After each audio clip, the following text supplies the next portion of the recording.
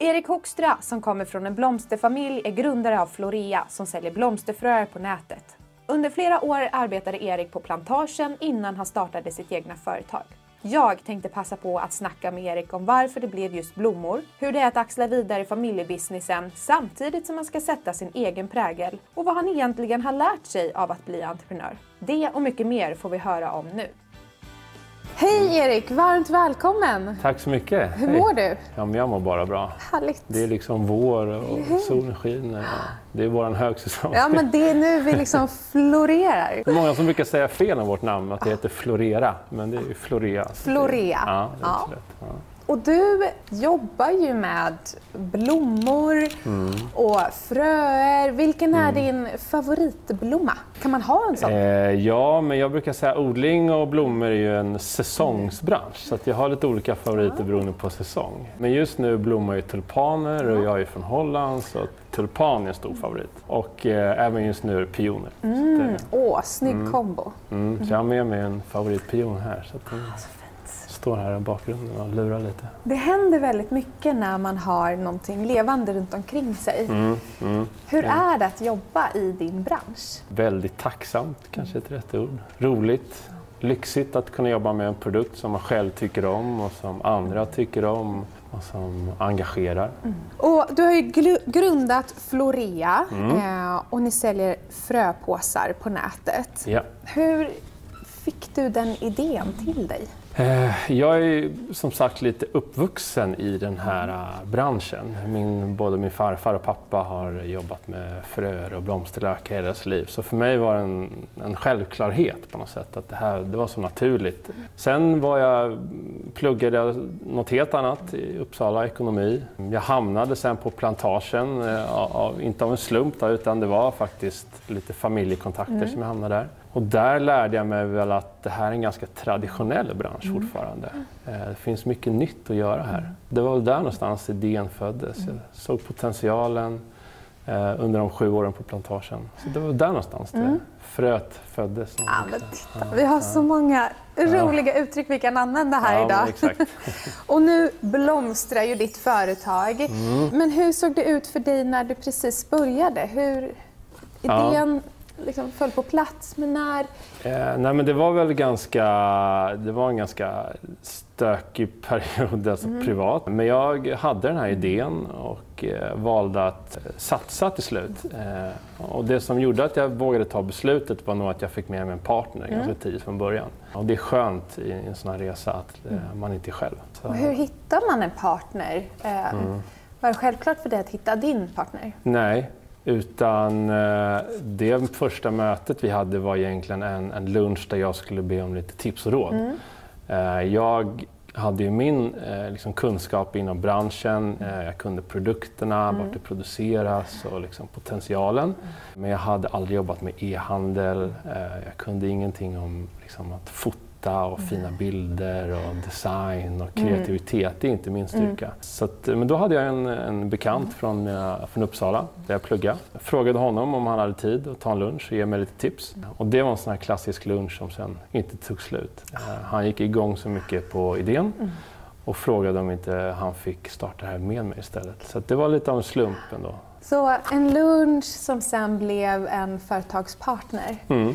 Hur kompletterar ni varandra? Är ni väldigt lika eller är ni olika? Eller? Nej, men vi, vi är ganska olika, eller snarare väldigt olika. Eh, och det är väl tur det. Sen är vi väldigt goda vänner eh, och tycker om att umgås och så, men vi är väldigt olika. Så att han, eh, han stod ju för eh, mycket kunskap om, inom e-handeln. Då. Och det är inget måste egentligen när man startar, men du sparar såklart lite tid på, att, eh, på det. Men det var ganska tydliga roller i början. Jag kom från branschen, han kom helt utifrån men kunde e-handel och, och eh, ja, så kompletterade det ganska bra. Sen tror jag styrkan i hela vår resa att det har gått så fort på kort tid egentligen att vi har lyckats få liksom, till bra personer, ett bra team ganska fort. Locka till oss eh, väldigt duktiga personer. Och du nämnde det. här med att kanske undvika att göra misslyckanden. Mm. Men har ni gjort några misslyckanden och vilka har det varit i sådana fall? Ja, men vi har gjort... Eh, man gör alltid massa misslyckanden, så är det. Och det här är ju faktiskt mitt andra företag jag startar. Så att jag försökte en gång redan i Uppsala när jag pluggade. Vad var idén då? Eh, då skulle jag sälja kaffekapslar online. Och min, min idé var egentligen att jag vill sälja någon, en produkt som, man kan, som är återkommande. Mm. Och jag fick min inspiration från dammsugpåsar.com. Det låter ju smart. eller vad det. Ja. Har man köpt en dammsugpåse en gång så måste man handla den igen. Vi landade på kaffekapslar. Mm. Var jag och en kompis då också. Eh, igen tror jag det bara var två Mm. när man ska starta något. Vi höll på med det ett år innan vi tappade orken. Eh, Vi, det gick okej men vi lyckades inte tjäna några pengar. Och det är lite tufft i början. Sådär. Man ser alla andra jobba Mm. och resa. Och, och sådär. Så att vi eh, efter ett år så av en slump när vi hade som minst ork eh, så var det en annan eh, dansk konkurrent som hörde av sig och ville köpa oss. I princip för samma peng som jag startade med. Så jag tjänade inga pengar på det. Nej. Men eh, jag fick tillbaka det initialt investerade. Så det var väl liksom mitt första misslyckande men ja, det lärde jag mig jättemycket på ändå. Och sen under det här ett och ett halvt året vi har jobbat med Florea har vi såklart gjort massa misstag som har kostat pengar. Man testar saker men det är väl det man Ja, måste för göra. vad är det värsta som kan hända i just ett bolagsbyggande när man misslyckas? Det är att det tar lite längre tid bara. Mm. Det, det tar lite längre tid. Men eh, det är väl det värsta som kan hända. Och vad drömde du om när du var 15 år? Visste du att du ville jobba Det är ju e-handel, Ja. men det är ju framförallt också inom blomster och... Nej, men när jag var 15, ja, jag minns inte riktigt. Jag hade nog drömmar då om att jag skulle vara fotbollsstjärna kanske. Jag kommer inte riktigt ihåg. Men jag har nog alltid haft någon, en, dröm om att driva eget företag och skapa någonting eget. Sen har man olika perioder i livet. Jag startade ju som sagt ett företag när jag pluggade. Det var i slutet av mina studier, så först så ville jag plugga. Jag tror att det är också lärorikt om man träffar massa bra kontakter och det är roligt och allt tar sin tid. Sen jag var klar med det så, ville jag ju, så testade jag starta, höll på med ett år, det gick inget bra.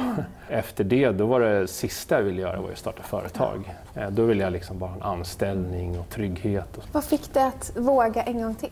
Ja, eh, det är nog en eh, kombination av saker. Jag hade en, en trygghet i form av en bra liksom, partner och fru hemma som stöttade mig och sa klart vi ska testa det här. Hur varvar du ner och liksom koppla bort företaget och entreprenörskapet? Har du några knep för att direkt så här, okej men nu, nu ska jag ladda batterierna? Ja, men, eh, träning funkar faktiskt alltid. Alltså, att när man rör på sig är det någonting som händer med hjärnan. Liksom. Man, man får också nya bra idéer av att röra på sig. Sen är jag ganska duktig på, och det är kanske någonting jag som person, jag, har, jag är bra på att stänga bort och stänga av. eh, Vilket jag tror behövs. Kvällar och, och helger på något sätt. Att nu får det liksom pausas ändå. Vilken är den roligaste delen i bolagsbyggande?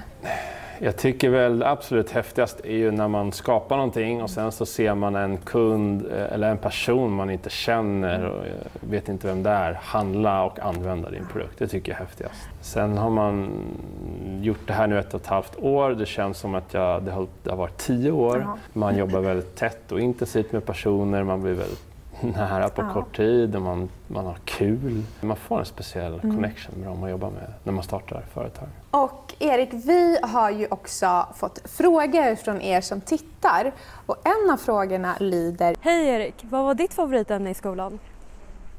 Oj, ehm, får man ha flera får favoriter? man. Ja.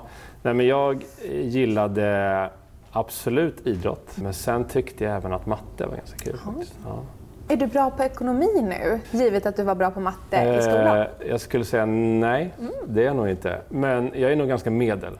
Sådär. Men det finns ju väldigt bra hjälp att få. Så man kan starta företag även om man inte är bra på matte? Ja, ja absolut. Eh, Inga konstigheter alls, det, det tror jag. Vi har en fråga som vi låter eh, alla svara på och det är tips till sitt 15-åriga jag. Så om du går tillbaka till eh, Erik, 15 år, vad hade du velat ge för tips? Nej, men jag tycker att, att starta eget företag är det absolut häftigaste och roligaste man kan göra. Var inte rädd för att misslyckas. Går det inte bra så skulle jag säga försök igen. Och ett tips är alltid att vara minst två stycken skulle jag säga. Det är ganska tufft på vägen så att är man två så kan man alltid bolla och diskutera. Tusen tack Erik för att du gästade oss på Mentor Sverige, Mentor. Expo Mega med alla dina tips och idéer om hur man kan starta företag men också få det att blomstra. Ja, Tusen tack för att du gjorde oss sällskap. ja men tack själv. Tack.